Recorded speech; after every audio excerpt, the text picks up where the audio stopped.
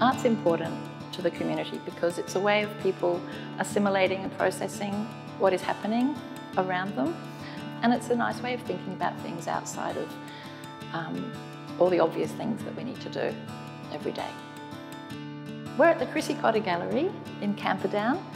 This is a beautiful council-run space um, and artists can submit a proposal every year um, to try and get awarded a slot and it's a wonderful space to show in. Um, it's very central and it's got a wonderful hanging system here so all artists love coming here because it's, it's very simple and straightforward to hang your exhibition. This body of work is um, inspired a lot by me walking around the neighbourhood and looking at little plants, maybe the ones that don't get noticed. Um, I named the show Wild Weeds because I often look at uh, weeds in particular um, and I love the shadows they cast on the ground and I tend to pick some of them and take them back to the studio and I photograph them um, and I use them as my source material.